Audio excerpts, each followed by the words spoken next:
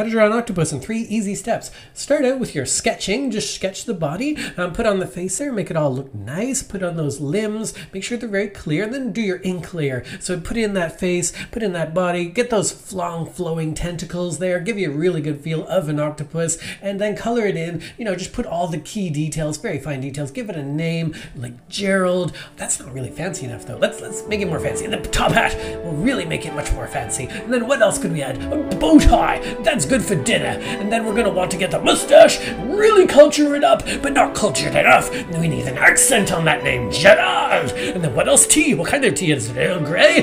No, it's boba. Then we need some sugar. One scoop of fifty. Yes. And then we need a sauce on it, like cheddar cheese and spicy spices with gummy bear. But then what else do we need? What makes it more fancy? Yes, a gentleman's ostrich. A gentleman's ostrich needs a gentleman's monocle, sun monocle.